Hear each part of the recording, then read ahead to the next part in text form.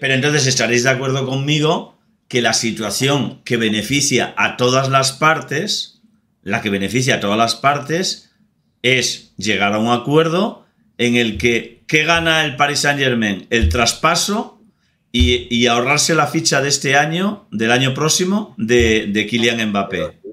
El problema, el problema es que aquí el tonto será el que pagará que será el tercero que, que es el Madrid. Claro. Pues Madrid el que sea. Claro, pero, pero, pero entonces, eh, pero el Madrid, el Madrid, claro, pero el Madrid también gana porque va a poder tener el jugador este mismo año. Y claro, y te cuesta 300 millones. No, no te cuesta 300 millones, te cuesta lo que te, lo que te pida el Paris Saint Germain de traspaso. Ah, claro, claro, y más la pasta que te pide él. Hombre, claro, bueno, pero esa es, una, esa es la ficha que tienes que cobrar. No, no, no, la cláusula, no lo que le pagues de ficha. No, no, es que él quiere cobrar. Si no le paga, él quiere, la madre ya ha saltado diciendo que quiere cobrar una prima de fichaje.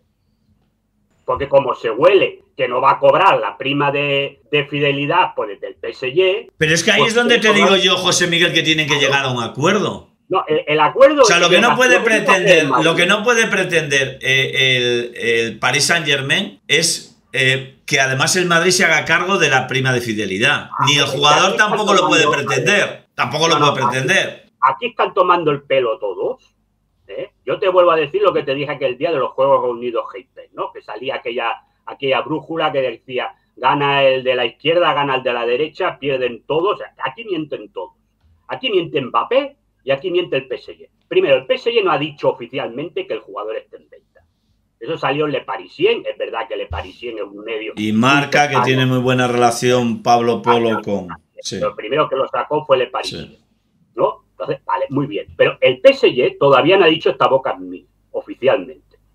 Vamos a poner las cosas claras. No ha dicho, ni ha dicho que el jugador valga 200. Eso lo filtró la madre a un medio de internet que le convenía, de PSG Community y tal.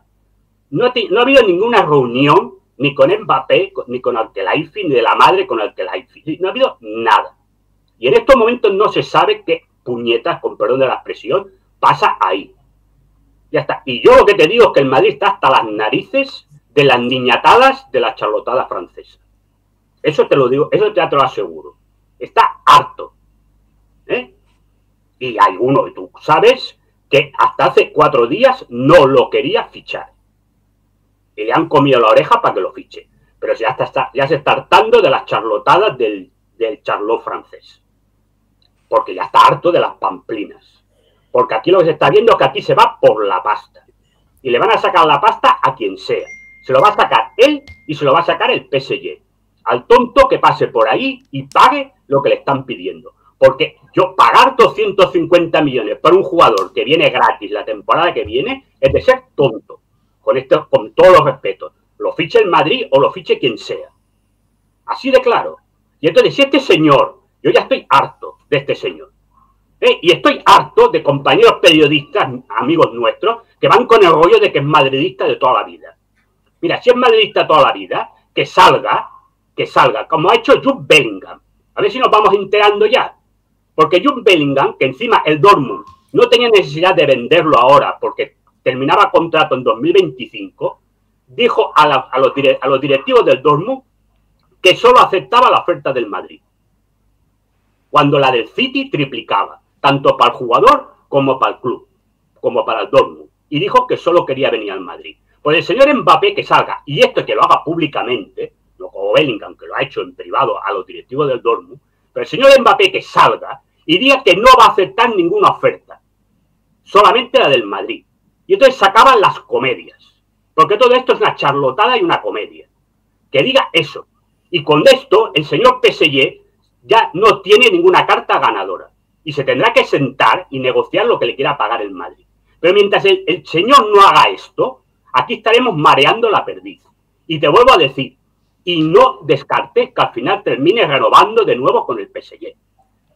Porque ahí la madre lo único que le interesa es la pasta y punto, y nada más. Y han salido ya tres agentes franceses diciendo que la madre es una patética. Porque si no, el, el jugador ya estaría en el Madrid haría tres años. Y posiblemente habría ganado algún balón de oro. Esta es la realidad que tenemos. Y por eso yo te digo, traer a Mbappé al Madrid es un desastre a la larga. Porque si esperamos que la madre no va a montar el pollo al cabo de dos años, somos unos ingenuos y unos tontos del bote, así de claro. Y siento mucho, a lo mejor, decir cosas que no son políticamente correctas en el mundo del madridismo. Pero tú me conoces perfectamente hace años, Ciro, y sabes que a mí no me gusta ser políticamente correcto. Yo digo lo que pienso. Y esta es la realidad. Ya está bien de tomar el pelo el señor Mbappé al Madrid y al madridismo. Y me da mucha pena que muchos madridistas todavía estén detrás del niñato este, que nada más hace que tomarnos el pelo a todos los madridistas. Desde hace cinco años. Él está mirando por lo suyo. No, le, no, no Pues por el yo miro por lo mío porque que es el el PSG está mirando porque el PSG está mirando por él, no está mirando por el jugador. Entonces al final es un, es un, es un pulso es un pulso entre el PSG y Mbappé y yo entiendo perfectamente mucho más la postura de Mbappé que la del PSG. No, yo entiendo la postura del PSG, porque el PSG ya también está harto del niñato. ¿Eh? Sí, pero el PSG, pero el PSG, pero el PSG el podría sacar dinero por él. No, Y a lo el mejor PSG no se le puede ir gratis. repito, yo si fuera el PSG, es que se iba a quedar en la grada sin jugar, como hacía Santiago Bernabéu. ¿Eh? Y así aprenderíamos, porque estamos viviendo en un mundo que estamos dominados por, cha- por pamplinas, que solo miran el dinero por encima de la dignidad y por encima del sufrimiento de la gente. ¿Eh? Porque hablar de es madridista, por como escuché en Twitter, que era para haber man- mandado a pagar a quien lo decía, ¿eh? es madridista porque pierde 150 millones. Mira, madridista es de verdad el que teniendo dificultades paga su abono. Y el que se pega un viaje de ocho horas desde Cataluña a, a ver a ir a Bernabéu en los partidos. ¿Eh? Ese es un madridista. Pero un señor que tiene dinero en el banco para enterrarnos a todos los que estamos aquí, ¿eh? y ahora porque va a perder 100 millones, que encima los quiere cobrar, es muy madridista, hombre, vamos a dejar de tomar el pelo ya a la gente. Vamos a dejar de tomar el pelo ya a la gente.